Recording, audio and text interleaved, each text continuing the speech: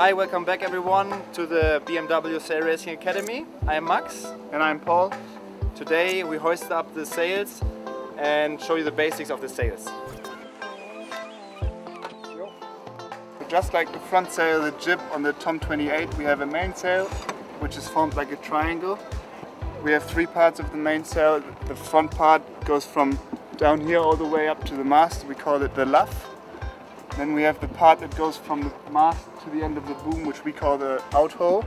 That part, which comes from goes from the end of the boom up all the way to the mast, which we call the leech.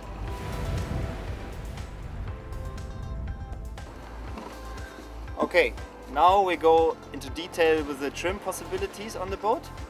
With that I start with the jib sheet.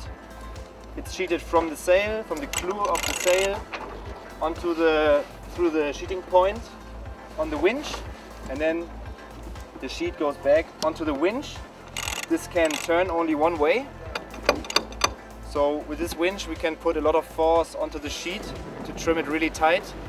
The vang here, this blue one, trims the back side, so the leech of the mainsail. So with the vang we only control the back side of the mainsail. Next up it's the outhaul. Like an aeroplane, we sometimes need a bit more shape in our wing. In this case the sail is our wing. And if the wind is really low, we open up the, the outhaul to have a bit more curve in the, in the mainsail. And if the wind is really strong, we just pull it really tight to lose a lot of the shape so we can go faster. Last but not least, we have the Cunningham, the green one here. It's very important to flatten out the front of the sail when it's windy. So if you want to go really fast, you have to pull a lot of Cunningham. That's pretty much it for the basic trims of the boat. Yeah, see you later.